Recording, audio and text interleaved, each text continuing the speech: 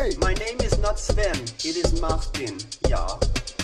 Hello everyone and welcome. Tonight is the final of the Swedish competition who, who we're gonna send to the Eurovision Song Contest in Germany in May. And today we're gonna keep it simple, no green screen and no just basic setup, BAM! And we're gonna walk through all the 10 songs and I'm gonna give you my opinion on what I think about them and maybe their chances, both in the competition tonight and potentially the competition in uh, Europe and Germany.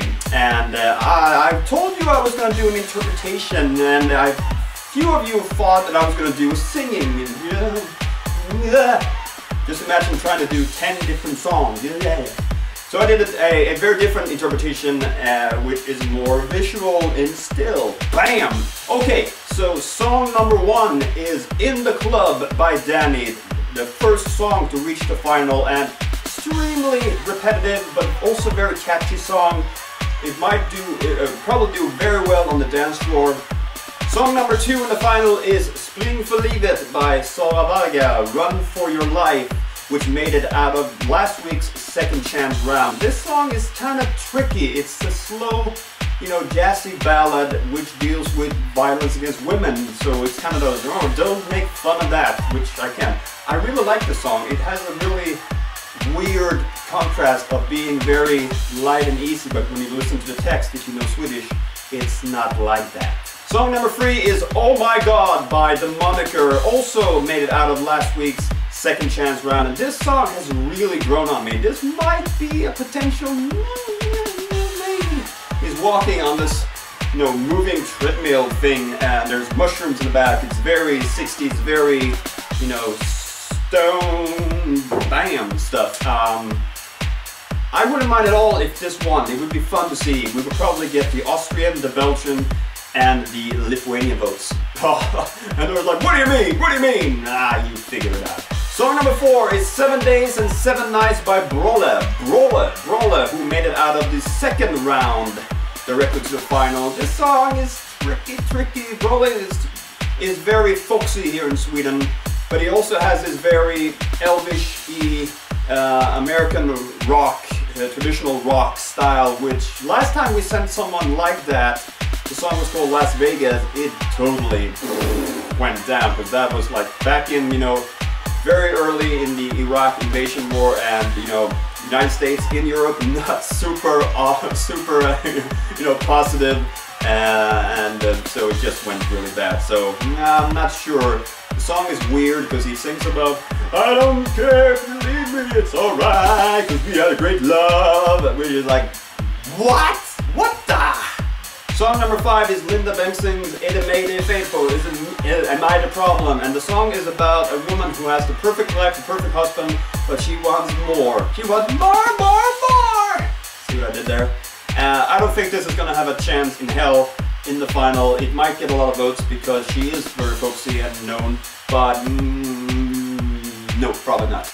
Song number six is Nicke Borg Leaving Home, which is the only ballad if you don't count the second one, which is more like jazz.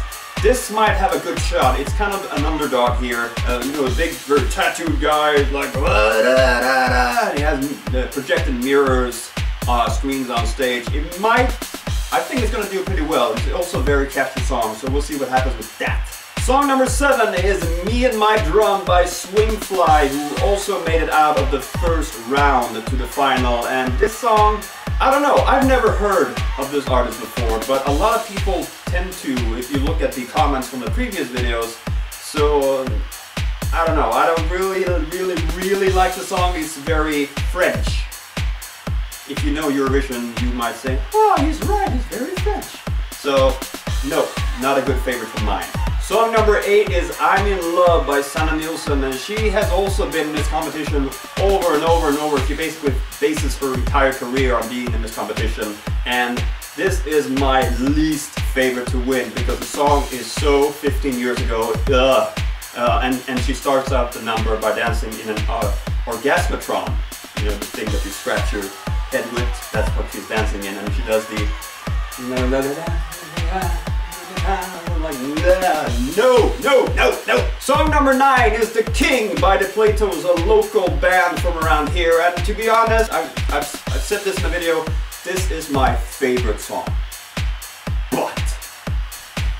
But, no way in hell we're gonna send these out in Europe. This is also kind of an Americanized, uh, very uh, 1950s, late late 50s, early 60s. They're playing the, rock and roll or Jerry Lee Lewis, da, da, da, da, but for me, it's the best song. I know a lot of people who are younger than me, but all of you except Tony, uh, will think like, what the hell are you thinking? We should have in the club, in the club, or something else. But uh, for me, it's my favorite song, but I don't want us to send that to Europe.